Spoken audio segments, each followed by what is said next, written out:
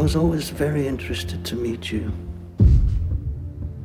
I'd heard so much about you from Vesper. If she hadn't killed herself, we would have had you too. Are you going to tell us who you work for? The first thing you should know about us is that we have people everywhere. I thought I could trust you. You said you weren't motivated by revenge. I'm motivated by my duty.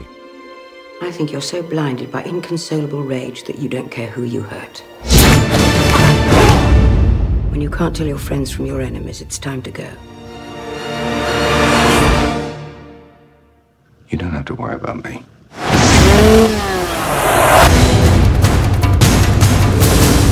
Restrict Bond's movements. Put a stop on his passports. Find Bond. How long have I got? 30 seconds. That doesn't give us a lot of time.